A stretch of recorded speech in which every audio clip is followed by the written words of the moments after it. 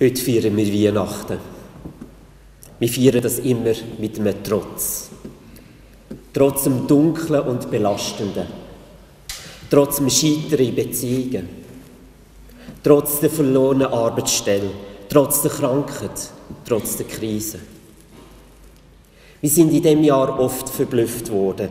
Ja, manchmal sind wir so richtig verschrocken. Die Welt ist mit einem rasanten Tempo unterwegs.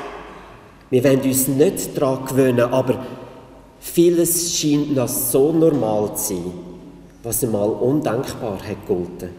Die digitale Revolution, das populistische Gehabe, Ablehnung gegenüber dem, was anders ist, was anders liebt, was anders lebt, was anders glaubt. Die Atmosphäre unter uns ist prägt von Unsicherheit, Misstrauen, und einer tiefen Sehnsucht nach Geborgenheit. Weihnachten bedeutet, dass wir uns trotzdem nicht lähmen lassen. Wir geben der Angst und der Not nicht recht. Weihnachten zu feiern und Weihnachtsgeschichte zu erzählen, bedeutet aber noch mehr. Es bedeutet, sich von dieser traumhaften Erzählung unterbrechen zu lassen. Es darf träumt werden. Es darf träumt werden, wenn wir hören, fürchtet euch nicht. Und das ist in diesen Tagen nicht banal oder kitschig. Es ist ernst gemeint. Hebt keine Angst. Und wie traumhaft schön ist es, wenn man am Abend ins Bett liegen kann und nicht Angst muss haben. Die Weihnachtsgeschichte bedeutet aber auch, sich wieder neu einzulassen auf die Botschaft Friede auf Erden. Friede auf Erden, das gilt. Gerade wenn sich auch unsere Erwartungen nicht erfüllen. Der Friede bleibt das Flickwerk. Auch wenn man für den Frieden Preise gewinnen kann. Friede, wo bist du? Übrigens, Wisst ihr, wer von diesen vier Menschen am häufigsten für den Friedensnobelpreis nominiert worden ist?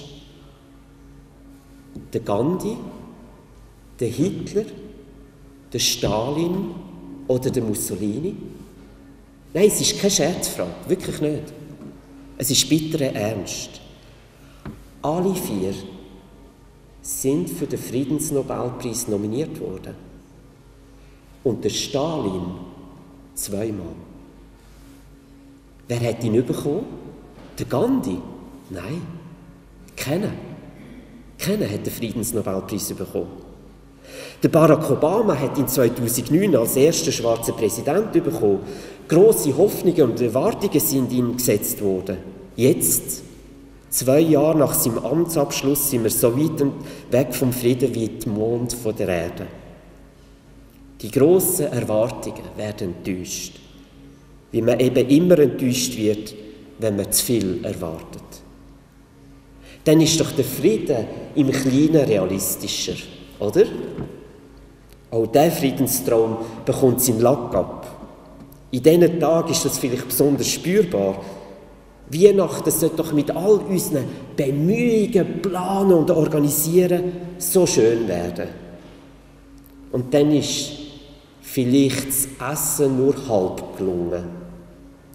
Die Stimmung war gestern Abend nur halb harmonisch. Die Kinder haben sich vielleicht nur halb anständig benommen. Und der Pfarrer ist nur halb zufrieden mit der Weihnachtspredigt. Noch nie war der Druck so groß, dass alles ganz muss sein muss. Die Bilder und Filme vom perfekten Menschen und Momente auf Facebook, Insta und YouTube grüßen. Es wird so gern verdrängt, dass zum Leben Riss gehört. Brüche, Schattenseiten. Das Leben bleibt Stückwerk. Egal welches Fest das wir feiern. Und viele fühlen sich in dem Druck und in dem Unvollkommenen allein gelassen und unverstanden. Wie damals die Hirten. Verlassen worden von den Engeln. Die Engel haben doch gesagt, Ehre sei Gott im höchsten Himmel und Frieden auf Erden für alle Menschen, an denen Gott gefallen hat. Heute gehören die Engel zwar noch zum guten Ton und vermitteln ein wohliges Gefühl, aber die Enttäuschung bleibt. Nicht so bei den Hirten. Sie flüchten nicht in die Ferien und sie resignieren auch nicht. Sie machen sich auf den Weg. Sie pressieren zu Maria und Josef und zum Kind. In diesem Kind, schreibt Paulus, ist die Güte und Menschenliebe Gottes unseres Retters erschienen. Das hätte Paulus erst können schreiben, nachdem der Jesus so gekreuzigt worden ist und auferweckt worden ist. Ohne Ostern haben wir keine Ahnung von Weihnachten. Kreuz und Krippe gehören zusammen. An beiden Orten kommt Güte und Menschenliebe Gottes, wird sie sichtbar. An beiden Orten wird übrigens auch geschrauen. Am Kreuz wie geschrauen, mein Gott, mein Gott, warum hast du mich verlassen? Und im Stall von Bethlehem schreit das Baby. Und vielleicht schreit es, darum, bin Mensch geworden. Ich bin euer Retter geworden. Von was sollen wir denn gerettet werden? Vielleicht zuerst einmal von unseren zu grossen Erwartungen. Im Kleinen und im Grossen. Wir erwarten von der Welt globalen Frieden. Von unseren Mitmenschen Beziehungen im Wohlfühlmodus. Und von uns selber ein erfolgreiches, zufriedenes Leben ohne Krankheit. Ihr Lieben, das ist alles definitiv eine Schuhnummer zu gross. Da muss sich Enttäuschung einstellen, beim Friedensnobelpreis und anderswo. Nehmen wir doch Tiere zum Vorbild. Pressieren wir doch wie sie zum Kind, zu Maria und Josef. Tiere gehen zu konkreten Menschen. Sie beschäftigen sich nicht so mit illusionistischen Träumen. Ihre Ideale sind keine Luftschlösser, die zerplatzen wie Seifenblasen. Tiere begegnen einem kleinen Kind. Und im Kleinen geht ihnen das Licht auf. Der kleine Anfang hat eine immense Kraft. Lernen wir doch wie Hirten, zu staunen über das Kleine. Alles ist klein in dieser Geschichte. Städtli Bethlehem, unbedeutender als Großstadt Jerusalem oder Zürich, New York. Es ist nicht das erste Haus auf dem Platz, nein, es ist ein Stall. Es ist ein Baby, nicht ein erwachsener Held. Es ist ein, ein Flüchtlingskind, nicht ein einheimischer Prinz. Das Kind wird besucht von Hirt, der Verlierer von ihrer Zeit. In der Nacht, nicht am strahlenden Tag. Geschichte erzählt keine Lösung, nicht einen Rundumschlag. Sie ist nicht ganz. Da darf einmal eine Taufschale ausgeschüttet werden. Aber das Kleine ist bedeutend. Ja, wir wissen doch, dass es eine Geburt von einem Kind das Leben komplett auf den Kopf stellt. Jedes Baby ist doch so abhängig und zerbrechlich. Nichts ist wie vorher, wenn es da ist. Es berührt uns, es erfüllt uns, es verwandelt uns. Es appelliert an uns das Beste, was wir haben, dass wir väterlich und mütterlich sind, dass wir beschützen, dass wir trösten, dass wir heben und tragen, dass wir satt machen, dass wir lieben. Ein kleines Kind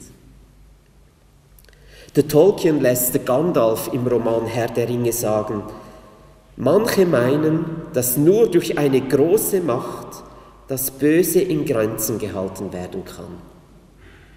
Ich habe etwas anderes beobachtet. Ich meine, es sind die kleinen Taten, jeden Tag.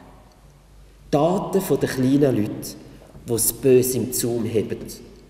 Die kleinen Taten von der Güte und die Weihnachtsgeschichte erzählen bedeutet, auf die kleinen Taten achten. Es ist nicht egal, was wir tun.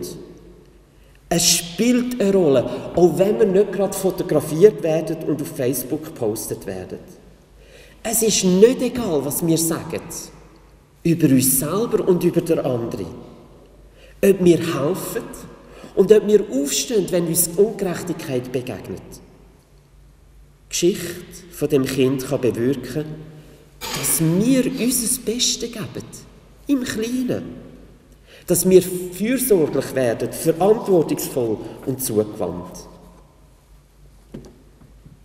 Weihnachten passiert da, wenn wir uns wie Tierten am Kleinen zuwenden und darauf vertrauen, da ist Gott lebendig.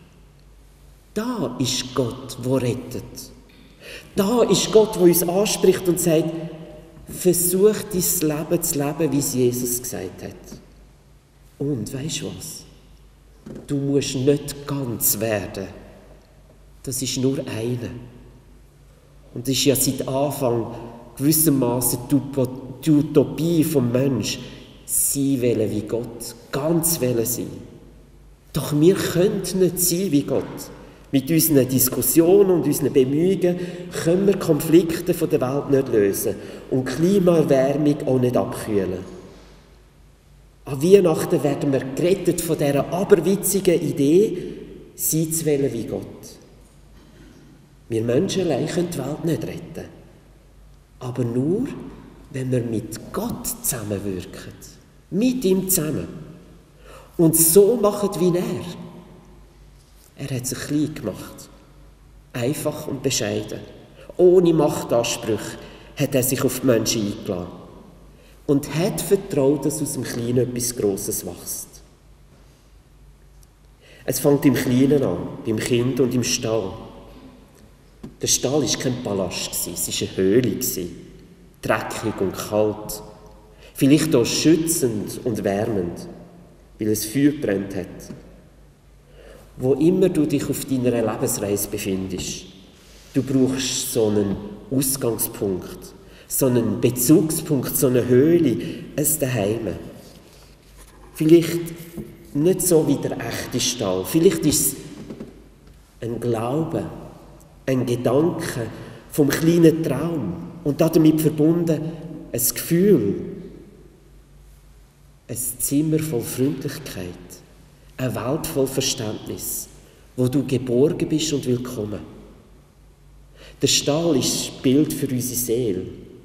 Wir brauchen in unserer Seele einen Ort, wo wir daheim sind.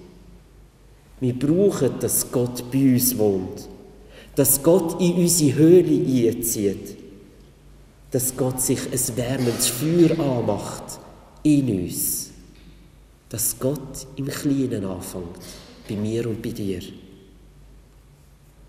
Weihnachten, das ist der kleine Anfang. Das Wunder, der kleine Traum, der besondere Ort. Tragen wir die Geschichte in unserem Herz. Sie kann unsere Unruhe heilen. Sie kann unsere Seele wärmen. Sie kann das Herz stark machen.